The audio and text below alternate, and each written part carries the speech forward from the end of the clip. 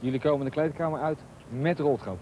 Ja, maar dat weet toch iedereen dat, hier, dat dit het enige stadion is met een roltrap. Dat Ja, dit is het enige stadion in Duitsland waar ik nooit gespeeld heb, dus ik, ik weet het niet.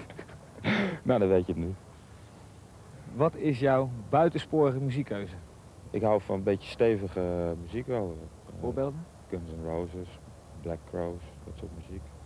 Maar ik, sinds ik in Duitsland eh, voetbal, ben ik ook wel Duitse muziek wel gaan waarderen. Du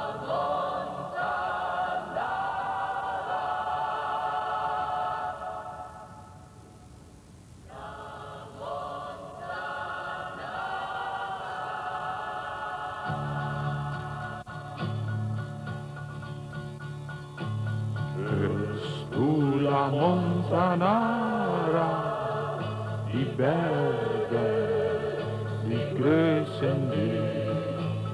Hörst du mein Lächeln schallen und leise